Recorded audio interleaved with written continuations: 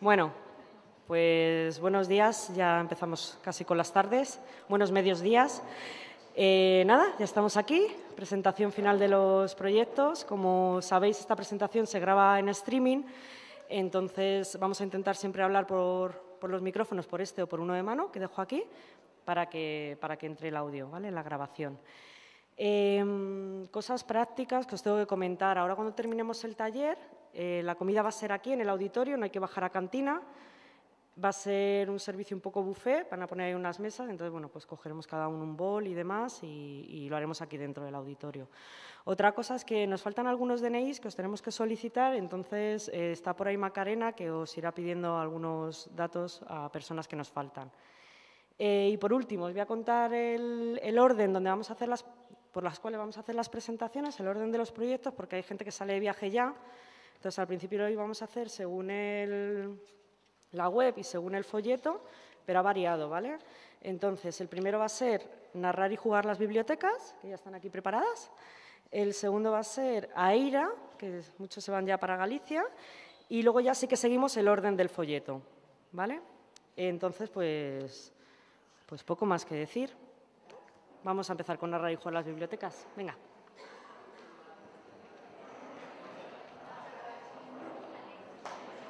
Micro de mano, ¿no? Vale, guay. Sí, lo prefiero. Vale. Bueno, ¿qué tal? Buenas. una de las cosas que hemos hecho en el grupo de trabajo, no sé si me atrevo a tocar eso. Ay, gracias. Eh, eh, una de las cosas que hemos hecho ha sido crear la narrativa de, un videojuego basándonos en, lo que se llama el triángulo de rareza, que luego os explicará, explicará Daniel. Yo os voy a explicar un poco el juego que, hemos creado o que he creado, digo, para exculparlas a ellas, ya me entenderéis. Eh, el juego es una aventura gráfica que hay que superar una serie de minijuegos, ¿vale? El personaje es un bibliotecario y su objetivo es crear una comunidad para, entre todos, crear un videojuego que tenga un valor social y que se pueda luego eh, cubrir una, necesidad social detectada por la propia comunidad. Entre, si os fijáis también, veréis que se parece bastante como a un proyecto, a una planificación estratégica. Bueno, lo dejo ahí para que suene, lo esté, ahí presente. El bibliotecario tiene que convencer a un músico, a un ilustrador o artista, a un programador y conseguir dinero para poder generar este proyecto, ¿vale? Cada uno de estos personajes, para, conseguirlos, los tiene que conseguir como, aliados. Entonces, cada uno de estos personajes le somete a una prueba. A una prueba y que, consiste básicamente en un juego de preguntas. Yo pregunto al personaje y el personaje, si sabe la respuesta al jugador, contesta directamente. Que no la sabe, tiene que ir a la biblioteca a solucionar el problema. ¿no? pues una, pregunta relacionada con el arte, pues habrá que buscar un libro o habrá que buscar un cuadro o cualquier otro tema. El músico, pues una canción, bueno, etc.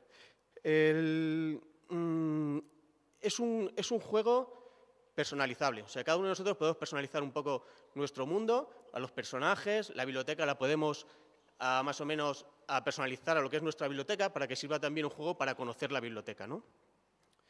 Entonces, entre una de estas pruebas del, del minijuego, el, bibliotecario entra, entra en la biblioteca y se encuentra un usuario que roba un libro. Entonces el bibliotecario tiene que salir corriendo detrás del usuario, lo coge, le quita el libro y lo mata. Entonces encuentras, luego entras a la biblioteca también y te encuentras el típico compañero tóxico que siempre está impidiéndolo todo, que yo esto no lo veo, oye, que yo esto no lo voy a hacer, que no sé qué, no sé cuánto. Entonces este te va persiguiendo como un Pac-Man, te va persiguiendo a ti para comerte. Pero ¿qué pasa? Que luego sabéis que está la pastillita esa que te la puedes comer y es al revés, es tú el que caza al fantasma.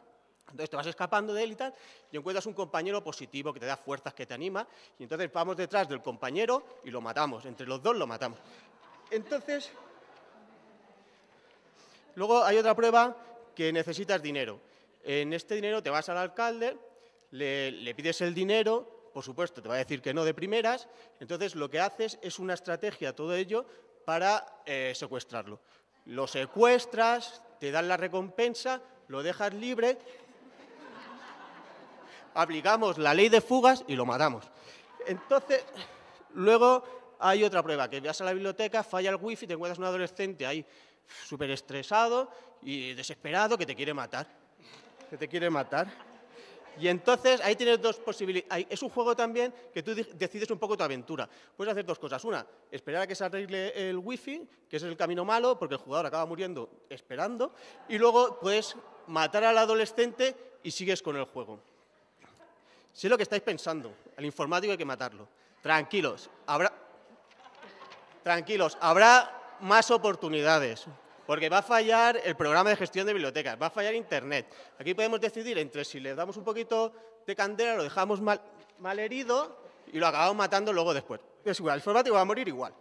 Entonces, lo de la personalización está muy bien, porque tú puedes poner a cada cara a cada enemigo tuyo, que te recuerde un poco a tu compañero, que te recuerda al alcalde, que te recuerda al informático. El, el juego acaba cuando consigues el objetivo, que es entonces, el objetivo es conseguir como una contraseña o algún tipo de algún tipo de prueba, algún tipo de resultado que luego te sirva para aplicarlo en alguna actividad en la biblioteca, o sea, ya en el mundo real, ¿vale? Ya nos olvidamos de matar a nadie. Entonces, en un escape room, por ejemplo, ¿no? que te da una contraseña y te sirve para abrir un cofre o alguna cosa de estas. Tenemos que pensar cómo unimos este mundo digital con el mundo real que no sea matando a nadie. Eh, y creo que, me suena que me he dejado algo, pero creo que ya básicamente ya está. ¿No ha quedado nadie vivo? Pues ya está, gracias.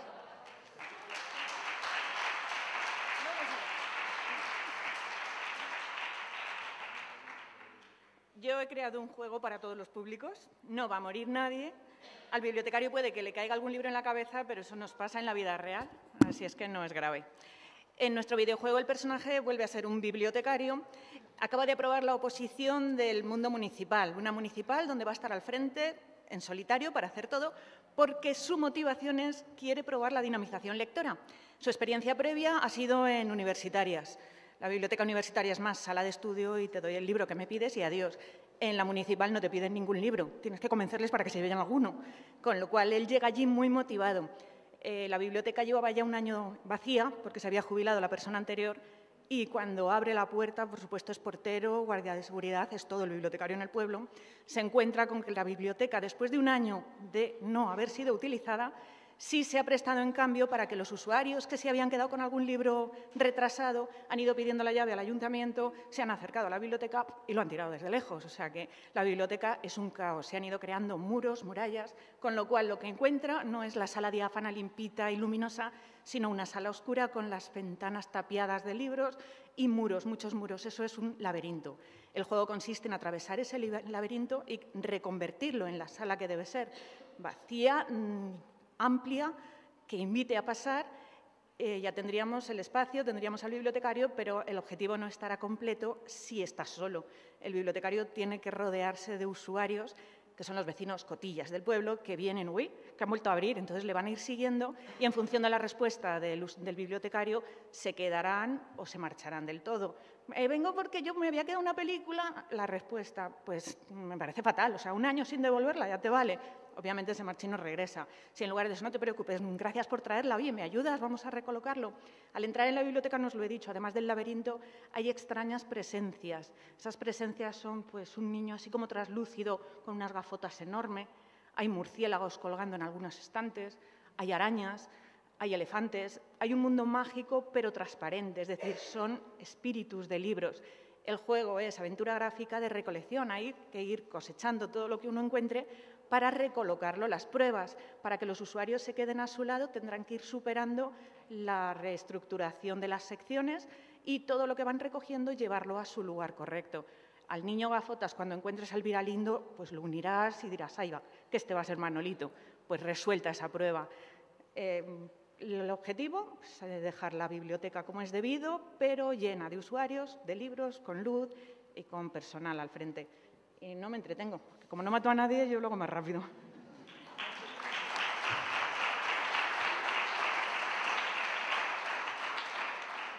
Esto, hola. Hay que encenderlo, vale. Bueno, dos ejemplos de juegos que han salido a lo largo del taller. Si recordáis, nuestro planteamiento era narrar e introducir los videojuegos en las bibliotecas. Hemos trabajado con un grupo que, hombre, conocer los videojuegos todos conocéis algo, pero nunca se habían planteado ni siquiera cómo hacer un videojuego. Eh, en parte porque lo que, les hemos, eh, lo que hemos trabajado es, si aprendéis a narrar un videojuego, podréis, lo siguiente ya es solo tecnología, es hacerlo, es acabar de rematar la parte técnica que la podéis encargar o la puede hacer alguien del propio equipo. Lo que hemos intentado con este proyecto es probar que la narrativa del videojuego y la biblioteca no están tan alejadas. Eh, un segundo que voy a, voy a pasar aquí y luego seguimos.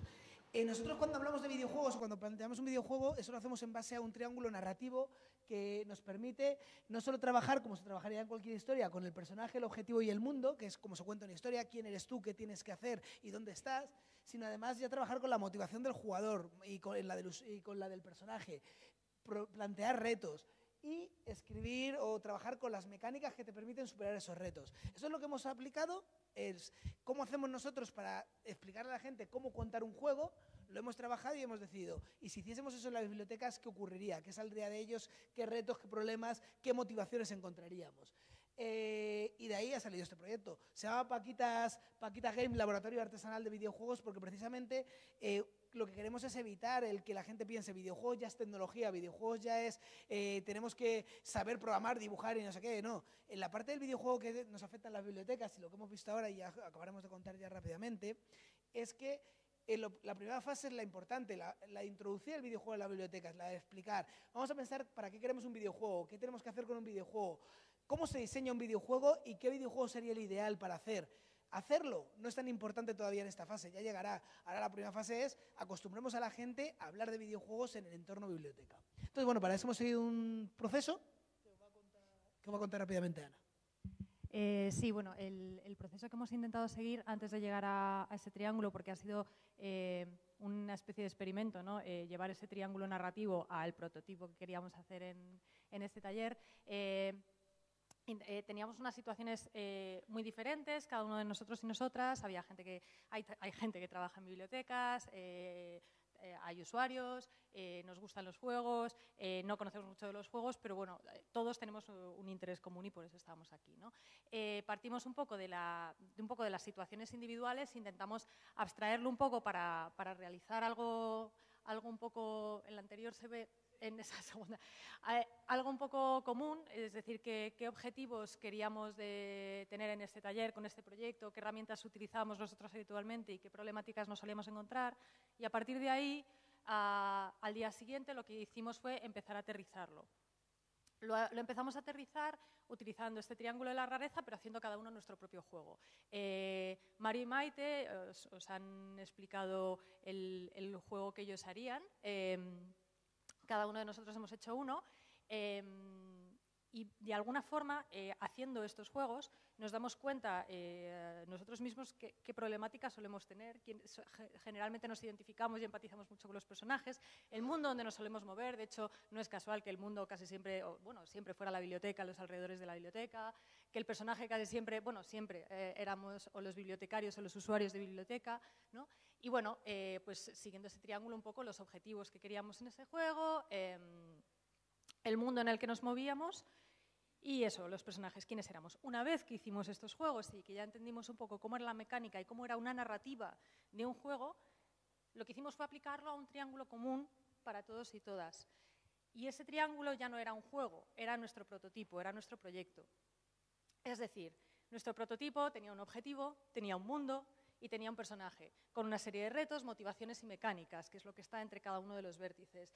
Y este es el Paquita Games, que nos, ha salido, este es el triángulo que os, los va, lo van a explicar ahora mismo los compañeros y compañeras. Y bueno, pues ese ha sido el proceso. Habrá documentación de, todo. Eh, con un poco, unos días terminaremos la documentación y para que podáis utilizarlo y quedará, por cierto, ese prototipo, aparte de este propio triángulo, es una lista desarrollada también de todo esto, eh, que eh, todos y todas eh, podréis utilizar si queréis, en el caso de que pues, tengáis ese gusanillo de, introducir o jugar con esas narrativas de videojuegos dentro de la biblioteca. bueno, eh, empezaríamos un poco con esta parte que digamos que se considera como el argumento, ¿no? que planea un poco por encima de, todo el triángulo. Eh, y dentro de, ese argumento ¿no? del, taller, eh, de cómo introducir el, videojuego en la, biblioteca, pues una o sea, uno de los que nos interesa sería introducir la narrativa del videojuego, ¿no? eh, introducir la narrativa del videojuego eh, para considerarlo propiamente como cultura, ¿no? Igualarlo, digamos, a los libros, a las películas, a las series, digamos, un poco que quede considerado de igual manera ¿no? que el resto de, materiales que se usan en la biblioteca. También nos interesaría un poco generar esa reflexión ¿no? sobre el, videojuego y, cómo se relaciona con, el resto de los productos culturales, ¿no? porque no es un, ente aislado. Al final hay mucha relación, hay videojuegos que son películas, películas que son videojuegos o que lo parecen. ¿no? Eh, luego, otro de los argumentos, digamos, sería el hecho de formar comunidad ¿no? alrededor de, del videojuego y poder atraer además a nuevas audiencias, no solo a gente que en un principio se pueda sentir atraída por los videojuegos, sino además gente que puede ser en principio pues, más reticente ¿no? a acercarse a, ese mundo. Y dentro de esa comunidad y al atraer a gente nueva, pues también un poco el conseguir la continuidad, que no quede ¿no? En, un, en, un, en algo que se organiza y que tiene un momento puntual, sino que interese ¿no? generar esa comunidad y que se mantenga en el tiempo, digamos.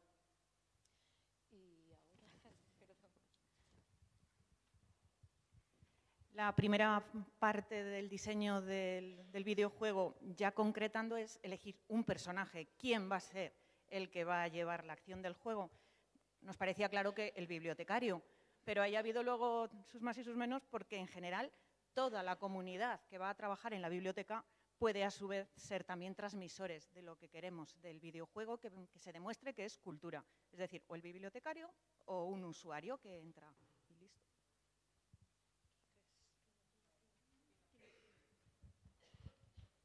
Buenas. Otro punto importante de este triángulo sería el mundo, que sería donde se desarrolla, en este caso sería la biblioteca, y habría, digamos, como distintos espacios dentro de lo que es el mundo un rincón de juegos, que muchas bibliotecas lo tienen, otros no, pero digamos que sería un espacio exclusivo simplemente para juegos y, videojuegos. Otro punto sería, o sea, otros espacios serían eh, las, aulas, las aulas que salen para talleres, cursos, el salón de actos también y aulas polivalentes, ¿no? Salas polivalentes. Em, también lo que es importante, el, el, entorno de la biblioteca. El entorno de la biblioteca como espacio que engloba lo que es la biblioteca alrededor, como espacio para jugar, de encuentro, para poder también dar a conocer lo que es el, videojuego y, las narrativas del juego. Y también importante los lugares externos, tanto para la visibilización como para la colaboración. Por, digamos, por ejemplo, espacios como, como este, eh, universidades, eh, etcétera. Voy a ser muy breve porque nos avisan que queda poco tiempo y más o menos las cosas ya han salido. Eh, algunos de los objetivos son repensar el fondo de la biblioteca. Eh, esto ha generado controversia, incluso cuando hemos hablado fuera del grupo con otros compañeros de los que estáis aquí. Tenemos que tener videojuegos, qué tipo de videojuegos, en qué soporte. Eh, la formación del personal de biblioteca. ¿Está el personal sensibilizado con los videojuegos? ¿Conoce la oferta de videojuegos que hay? ¿Sabe prescribir? ¿Sabe clasificarlos? ¿Qué tipos de espacios creamos dentro de la biblioteca para el videojuego? Y dentro de la comunidad, pues eh, crear mentores, crear líderes de proyectos que ayuden a la, integración y, al reconocimiento social de aquellos que trabajan en la comunidad, ¿no? algo muy importante. Eh, que sea sostenible, como decía Yolanda, eh, generación de sentimiento de pertinencia y consolidar la comunidad en torno al videojuego. Bueno, yo no, no quiero insistir en lo que se ha dicho más porque creo que nos podemos repetir, pero al hilo de, los que matábamos con, Mario, precisamente una de las dificultades mayores es romper las zonas de confort tanto desde el propio personal de la mediateca, bueno, perdón, de las bibliotecas, como desde los propios usuarios, ¿no? Cada uno parece que llegamos con nuestros derechos muy bien asumidos, pero nos olvidamos de los deberes y de compartir y de respetarnos, ¿no? Y por otro lado, también destacar eh, la, falta de, bueno, la falta de sensibilidad y el desconocimiento que tenemos hacia una de las industrias culturales creativas más importantes, si no la más importante. Mueve muchísimo dinero y toca muchísimas eh, disciplinas artísticas y no artísticas, con lo cual creo que es un punto importante para reflexionar sobre ello. ¿Vale?